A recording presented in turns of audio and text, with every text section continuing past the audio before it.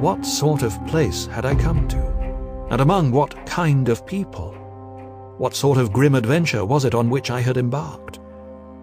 I began to rub my eyes and pinch myself to see if I were awake. It all seemed like a horrible nightmare to me, and I expected that I should suddenly awake and find myself at home, with the dawn struggling in through the windows, as I had now and again felt in the morning after a day of overwork.